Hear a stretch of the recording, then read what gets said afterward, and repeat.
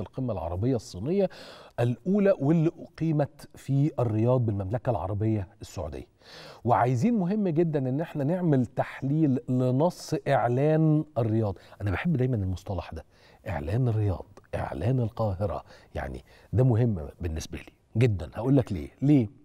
لأنه إحنا عندنا مجموعة من المك... المكاسب شديدة الأهمية كوطن عربي بشكل عام وكمصر بشكل أكثر خصوصية. معانا على التليفون دكتور محمد صادق إسماعيل مدير المركز العربي للدراسات السياسية.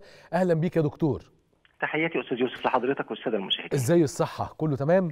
الحمد لله بخير ربنا يحفظك كنا عايزين نتكلم على إعلان الرياض في القمة العربية الصينية أو القمة الصينية العربية كل على حسب ما يريد أن يسمي. نعم. وأهمية هذه القمة بالنسبة للاقتصاد العربي ككل وأهمية ده بالنسبة للاقتصاد المصري على وجه الخصوص.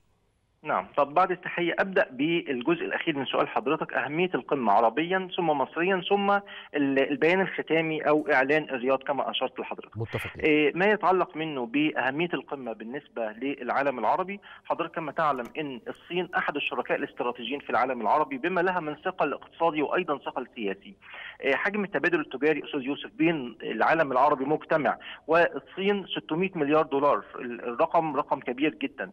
بين الدول العشر الموجودة بالأمس في الاجتماع أو في القمة وبين الصين 300 مليار دولار.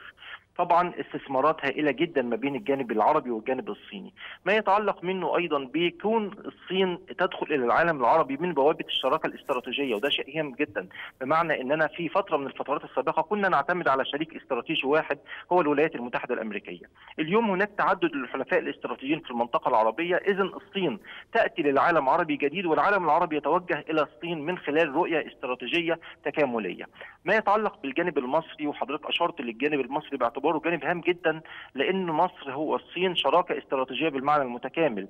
يعني أول قنصلية دشنت في العالم العربي والشرق الأوسط وأفريقيا كانت في الإسكندرية من قبل الصين. لو سنه 35 لو حضرتك عكست الرقم 53 تجد إن أول بعثة دبلوماسية أتت أو سفارة دبلوماسية فتحت واعترفت مصر بالصين الشعبية. وبالتالي بعد عام 2014 أستاذ يوسف تجد زيارات المتبادلة ما بين القيادات السياسية سواء في مصر أو الصين كبيرة جدا. 2014 2015 18 19 22 الرئيس السيسي كان في الصين. طبعا لزيارات عديدة. وأعتقد طبعا إن 2018 تحديدا كان هناك المنتدى الصيني الأفريقي. وطبعا ده كان من خلال بوابة القاهرة وده كان شيء هام جدا لأن مصر أصبحت الرابط ما بين العالم ال ال الأفريقي كما يقال أو القارة الأفريقية والصين. ولا ننسى مبادرة الحزام والطريق مبادرة صينية. طبعا تمر عبر قناة السويس صح. إلى داخل أفريقيا، اذا مصر هي حلقة ربط مهمة جدا ما بين الجانب الأسيوي والجانب العربي ثم الجانب الأفريقي.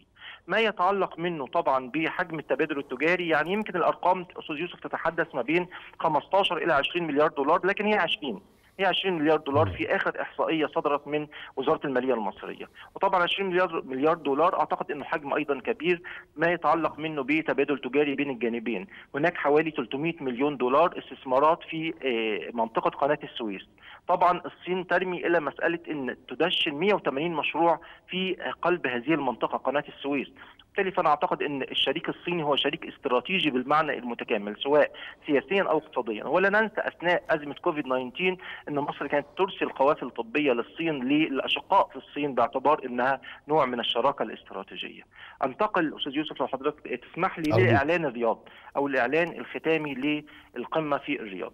طبعا هذا الإعلان كان إعلان هام جدا تناول اولا خطوط عريضة بمعنى إنه تأكيد السلم والأمن في المنطقة والترحيب بالديمقراطية واختيار الشعوب. وأعتقد إن هذا المبدأ الأول يتماشى مع مبادئ الأمم المتحدة. لو لو استعرضت مبدأ الأمم المتحدة الأول إقرار السلم والأمن الدولي وهو ما جاء في البيان الرياض أو إعلان الرياض.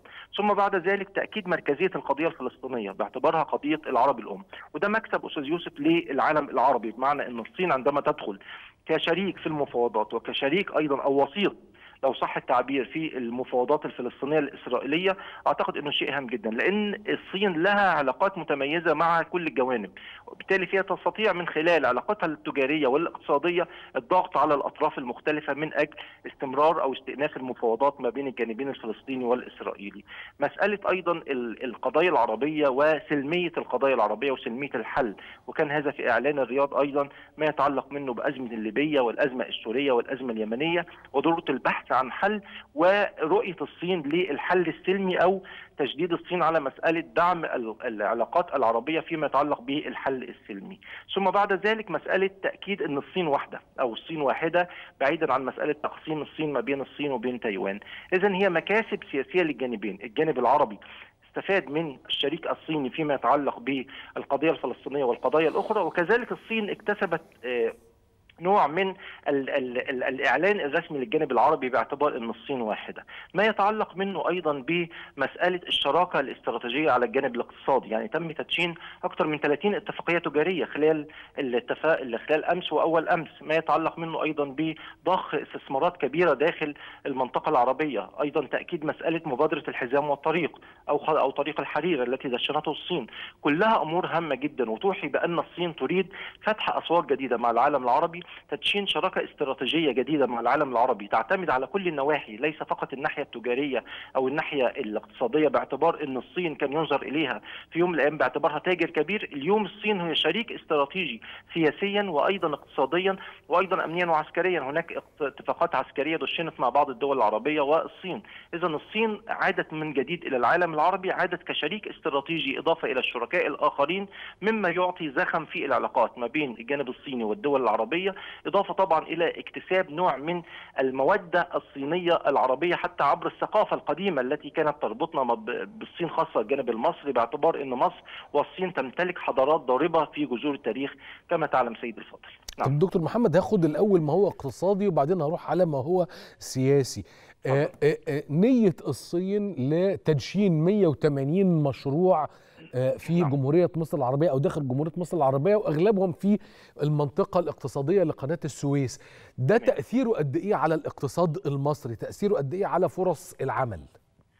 طبعا مئات الآلاف من فرص العمل. يعني لما عندما نتحدث عن 180 مشروع 180 مشروع يعني أو 180 مصنع كبير أو ما ما شابه وبالتالي فطبعا مئات الآلاف من فرص العمل إضافة إلى ايدي عامله ودخل قومي لمصر إضافة إلى استثمارات كبيرة لأن طبعا هذه المشروعات ستحتاج إلى بنى تحتية ستحتاج إلى عمالة ستحتاج أيضا إلى نوع من التكنولوجيا. ولا ننسى يا أستاذ يوسف مسألة توطين الصناعة. بمعنى إن كان قديما البعض البعض يعتمد على الصين فيما يتعلق بالتبادل التجاري المباشر بمعنى إن نقل آلات تكنولوجيا أو معدات جاهزة الصنع أو خالصه الصنع إلى الدولة، لكن هذه الأيام طبعا الرؤية المصرية لديها استراتيجيه جديدة تعتمد على توطين الصناعة بمعنى ننقل التكنولوجيا من الصين من خلال إنشاء المصنع الموجود في الصين ننقله إلى مصر أو منطقة الاقتصادية في قناة السويس ثم يتم البناء عليه من خلال طبعا ايادي عاملة مصرية من خلال استثمارات ما بين الجانبين الجانب المصري والجانب الصيني وبالتالي يخلق العديد من الفرص العمل إضافة إلى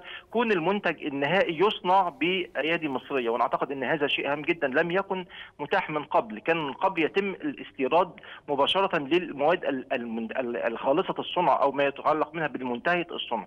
لكن اليوم هي شراكة استراتيجية. وأعتقد إن الجانب الاقتصادي أيضا إن هناك أكثر من مشروع يعني لا يمكن النظر إلى مسألة القناة السويس فقط. هناك أيضا في العالمين الجديدة هناك مشروعات هناك في العاصمة الإدارية مزبوط. هناك مشروعات وأنا اعتقد إن الجانب الصيني أيضا يريد استثمار العديد من المجالات في مجال الطاقة النظيفة كما يقال حضرتك كما تعلم إن المؤتمر الخاص بشرم الشيخ المؤتمر البيئة المناخ طبعا دشن لمسألة هامة جدا وهي مسألة التفاعل في الطاقة النظيفة وحضرتك كما تعلم إن معظم الطاقة حاليا تريدها الصين من العالم العربي من صح. الجانب في الجانب الاقتصادي فأنا أعتقد إن نوع من الشراكة في المعنى الاقتصادي المتكامل ما بين مصر وبين الصين وفي القلب منه طبعا العالم العربي باعتبار إن العالم العربي مصدر جيد للطاقة إلى الصين إضافة طبعا إلى إن العالم العربي هو يستطيع جذب رؤوس الأموال من الصين لضخها في العالم العربي باستثمارات ما بين الجانبين وتحقيق مصالح مشتركة سواء للجانب الصيني أو الجانب العربي طبعا وفي القلب منه الجانب المصري. بإذن الله. أنا بشكرك جدا جدا جدا يا دكتور. كل الشكر ليك دكتور محمد صادق إسماعيل مدير المركز العربي للدراسات السياسية.